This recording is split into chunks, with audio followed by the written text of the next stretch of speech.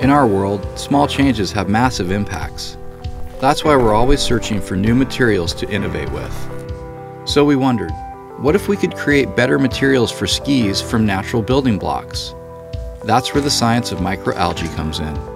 For the first time, we're using biotechnology to design new materials from microalgae for backcountry skiing.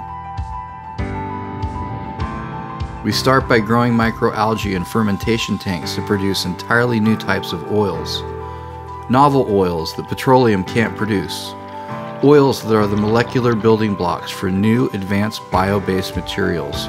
Materials like algal polyurethane and algal cast PU that we use in our lab in Salt Lake City.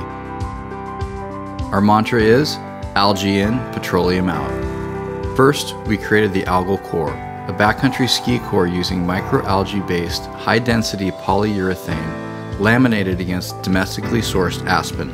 This delivers superior dampening and optimal strength to weight ratio. Then we developed our algal wall, a liquid cast polyurethane derived from a proprietary algal polyol that natively bonds with the core without the need for adhesives. The result is a stronger bond, superior strength over edge, and better flex and absorption compared to common materials. And we're applying this construction and biomanufacturing to the Vital 100 and the Intention 110. For the first time, we're designing materials specifically for skiing, improving performance and eliminating about two pounds of waste per ski.